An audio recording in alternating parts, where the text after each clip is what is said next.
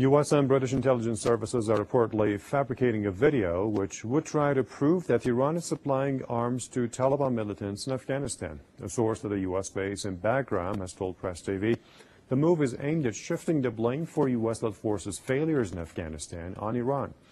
He said several American filmmakers have been employed to make the false video report.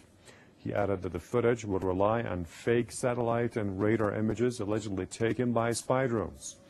The U.S. and Britain are facing increasing pressure over the mounting casualties in Afghanistan. Latest opinion polls show most people in the two countries are opposed to the Afghan war.